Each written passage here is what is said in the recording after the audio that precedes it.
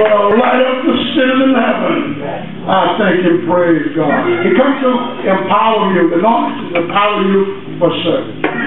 His Lord will equip you with every battle or obstacle that you may encounter along the way. And we encounter a lot. Am I right? The anointing of God will keep you on the straight and now, He told you to stay on the narrow way, straight and narrow.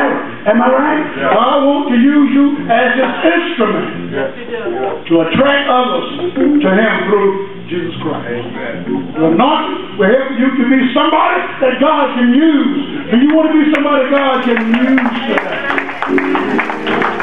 One of the primary purpose of the anointing is to keep you in the house of the Lord. Amen. So goodness, somebody talk to me. So goodness and mercy the days of your life, so you can dwell in the house of the Lord.